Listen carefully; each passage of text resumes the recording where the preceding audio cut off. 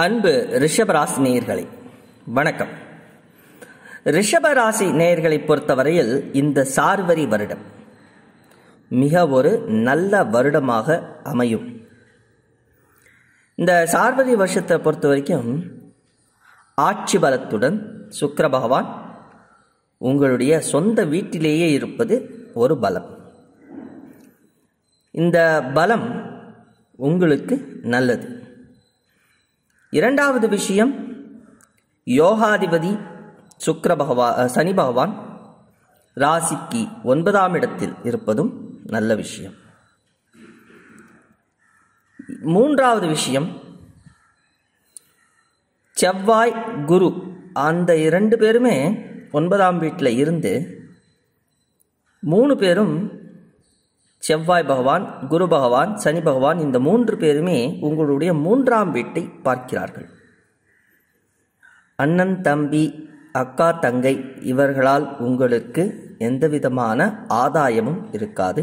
ஆனால் பெரியவங்களால் அக்காவாலேயோ அண்ணனாலேயோ தன வருமானம் ஆதாயம் இருப்பதற்கு வாய்ப்புகள் இருக்கிறது. இரண்டாம் இடத்தில் உள்ள ராகு பகவான் செப்டம்பர் மாதம் வரை அங்கே இருக்கிறார். அதனால் வந்து பண விஷயத்தை பொறுத்தவரையில் செப்டம்பர் மாதம் முடியும் வரை கொஞ்சம் டென்ஷன் ஸ்ட்ரெஸ் இருக்கும். அதே நேரத்தில் எடுத்தோம் கவுத்தோம் நீங்கள் பேசுகிறத கொஞ்சம் தவிர்த்து கொள்ள வேண்டும். அது வந்து அவ்வளோ வந்து ஒரு சுகமாக உங்களுக்கு இருக்காது. சனி பகவானை பொறுத்தவரையில் உங்களுடைய இஷ்டங்களை அவர் நிறைவேற்றுவதற்கு முயற்சி செய்வார். அப்படி அவர் முயற்சி செய்கின்ற நேரத்தில் நீங்கள் அதை வந்து யூஸ் பண்ணிக்கணும். ஏன்னா இது ஒரு நல்ல தருணம். திருமணம் ஆகாதவர்களுக்கு திருமணம் நடப்பதற்கான வாய்ப்புகள் அதிகமாக இருக்கிறது. இப்போது ஜூன் மாதம் வரைக்கும் குரு பகவான் உங்களுடைய ராசியை பார்ப்பதனால் உங்களுக்கு ஒரு நல்ல புத்தி இருக்கும். புத்தி நல்லா விஸ்தாரமாக வேலை செய்யும். இந்த விஸ்தாரமாக வேலை செய்யும் பொழுது எது சரி எது தவறு அப்படிங்கிறத உங்களால் கண்டிப்பாக எடை போட்டு பார்க்க முடியும். அப்படி எடை போட்டு பார்க்கும் பொழுது அதை நீங்கள் சரியாக எடுத்துக்கொண்டு உங்கள் வாழ்க்கைக்கு ஒரு படிக்கட்டாக இதை நீங்கள் யூஸ் பண்ணிக்கணும். குரு பகவான் செப்டம்பர் மாதம் முப்பதுக்கு ஜூன் மாதம் முப்பதற்கு பிறகு செப்டம்பர் மாதம் வரை நவம்பர் மாதம் வரை நவம்பர் மாதம் வரை அவர் ராசிக்கு எட்டில் இருந்து உங்களுடைய இரண்டாம் வீட்டை அவர் பார்வையிடுவார். அவ்வாறு அவர் பார்வையிடும் பட்சத்தில் அந்த நேரத்தில் நல்ல வரன்கள் கிடைக்கும். புதிய வரவுகள் உண்டாகும். அதனால் வர வரனை தட்டாமல் அழகாக திருமணம் முடிச்சுக்கொள்ளலாம். ஏன்னா சனி பகவானும் பதினோராம் இடத்தை பார்ப்பதால் உங்கள் யோகாதிபதி உங்களுடைய இஷ்டங்களை அவர் நிறைவேற்றுவார். இந்த நேரத்தை நீங்கள் யூஸ் பண்ணிக்கணும். இரண்டாம் அதிபதி நீச்சம்னு நீங்கள் எடுத்துக்கக்கூடாது. தன வருமானம் கண்டிப்பாக இருக்கும்.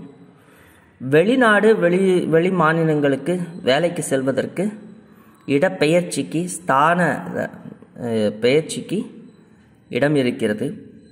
அதனால் வேறு ஒரு ஊருக்கு போகிற மாதிரி இருக்கிறதுனால திருமணம் முடிந்து உங்களுடைய பெண்களாக இருந்தால் மாமனார் வீட்டிற்கும் பையனாக இருந்தால் வெளியூர் வெளிநாடு போவதற்கும் பெண்களுக்கும் வெளியூர் வெளிநாடு போவதற்கு நிறையா வாய்ப்புகள் இருக்கிறது.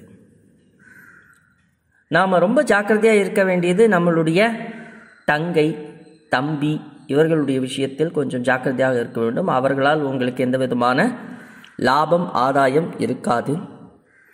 அவர்கள் கிட்டக்க சண்டை போடாமல் இருக்கணும்.